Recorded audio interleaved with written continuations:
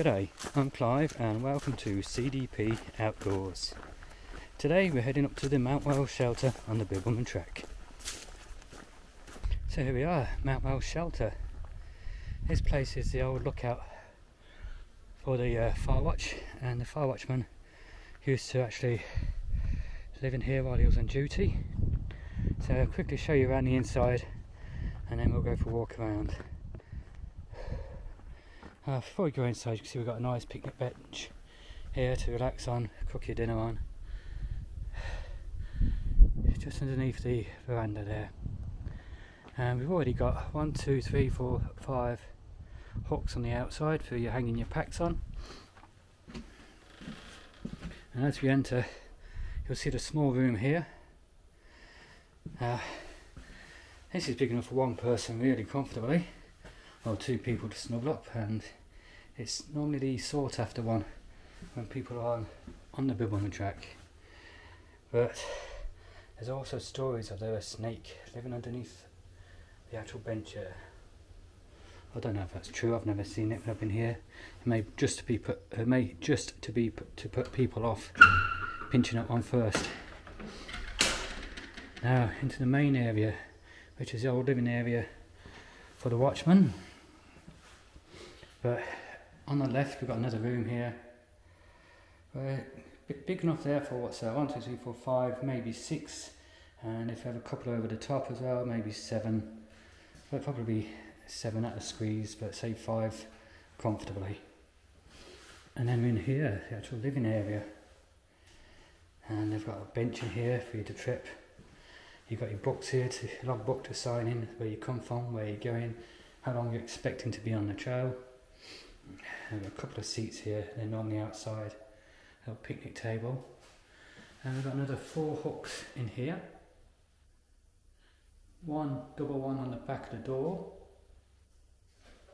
And I didn't look in here, so let's have another look. Yes, and we've got another three in here. So plenty of hooks for your uh, packs to go on. Now the stove is the old fire stove that the watchman used to cook his meals on and keep warm, but it cannot be used. It's never, or I should say never, it's not had a clean for a long time, and because it's sold, it's not safe. So they've got a notice asking you not to use it.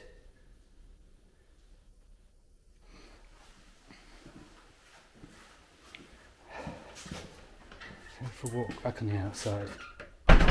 There's your rake down there so you can rake up. There's a little dustpan down there so you can keep the place clean ready for the next hikers to come in. Right, let's go this way. This is the old watchtower. The top of it they've taken down but you can actually go up there to that platform where you got the railing and that's it. You're not allowed any higher anymore the first time I came here, the actual room was on the top and you was able to go and have a look around. But to storm damage, they've actually taken it down because it wasn't safe. There's a couple of chairs up that on that middle platform. Some fantastic views up there. Okay, first water tank on the right hand side of the cabin. I think that's the only one, but I'm not certain. I'll go and have a look.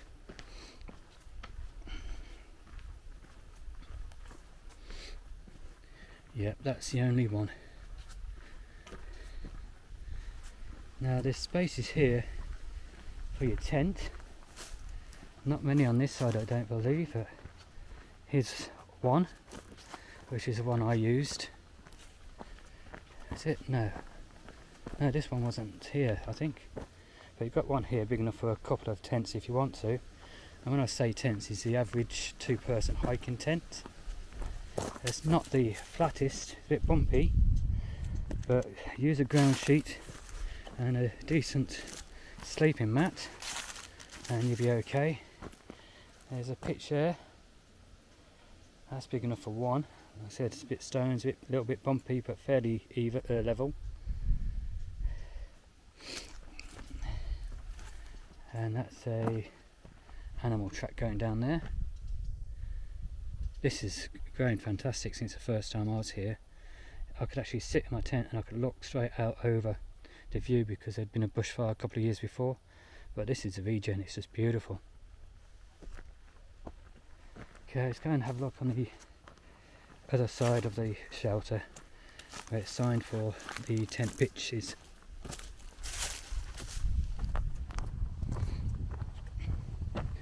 So I had to walk up into this one, the last kilometre coming north to south is a fairly steep one all the way up. So be prepared for that. They save the best till last.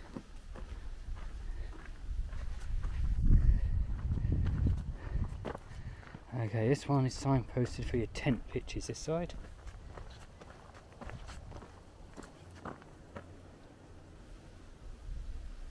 So let's go and have a look. First, we got a little track going to the left. Let's follow that one first.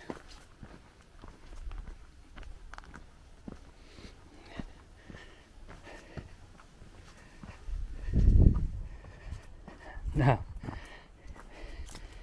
here's two small ones, it looks like, put together. So you could get two tents on here, quite comfortably actually. It's fairly level, a little bit going downhill from left to right as I'm looking at it, but nothing serious. There's a rock on this side, there's a rock on that side, but nice straight down the middle. So that's a nice one. Let's walk back down. The track goes this way a little bit.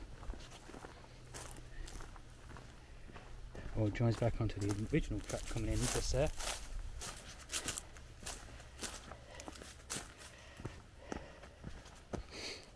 Here's another tent pitch. It's about, I'd say about 85% level. You've got a bit of rock and stone in the middle of this one.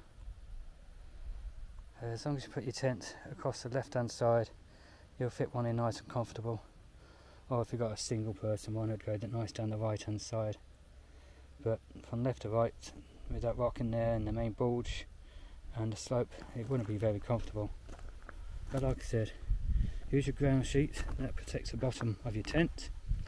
And use a nice comfortable sleep mat. So if you've got an air or self-inflating one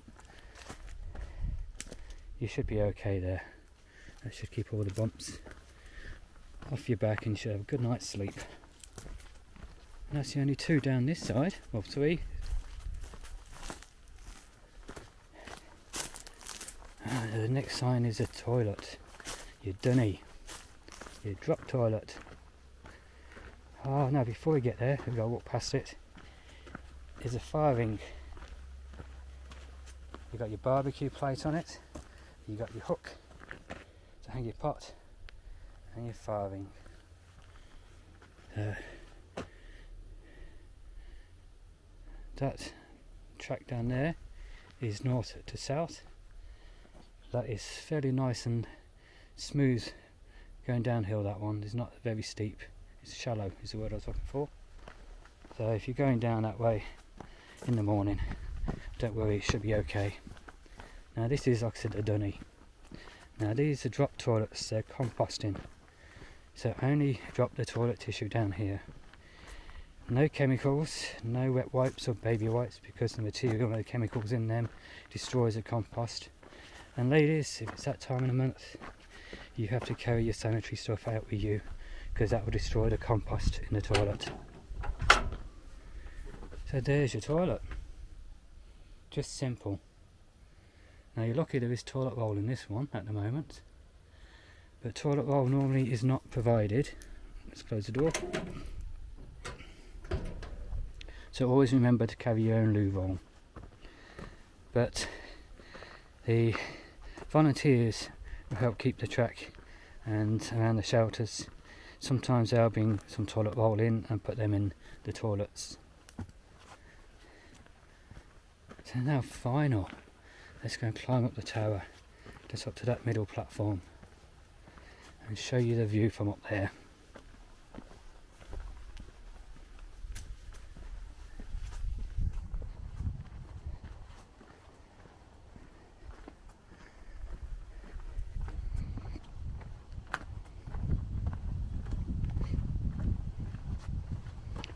Excuse the noise of the wind. It's going to get worse as we go up here.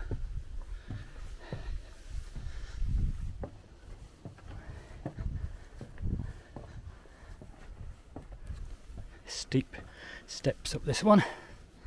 Should be using two hands for holding the camera. It's a bit of a bugger. Climbing risk. This far lookout tower is not suitable for climbing by members of the public. Here we go. Let's show you the way you come from north. You see all the hills in a different distance there. And you wind all the way through them to get here. You see smoke in the distance, they've got a controlled burn. And over here, over the west, you can see all the haze and the smoke over the hills and the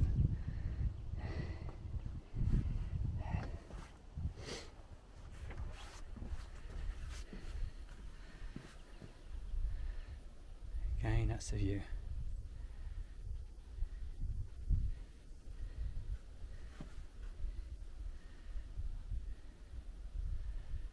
And that's the way you're going to be heading south if you're heading south, and the opposite direction north if you're heading south to north. Uh, just sit up here with your cuppa. It'll be beautiful.